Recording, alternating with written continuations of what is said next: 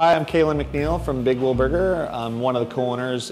Uh, we originally started Big Wheel Burger to improve fast food. Our whole premise is about quality fast food, real fast food. And along with that, one of the things we're most proud of is our sustainability. And uh, we're really proud to be carbon neutral. Most fast food restaurants produce 400 tons of uh, carbon emissions. We're at 67. We'd like to get it down to 40 and eventually just you know get it down so we don't have to offset anything. And we hope that other chamber members will become sustainable. You know, let's all become green and we can look forward to a bright, fantastic future.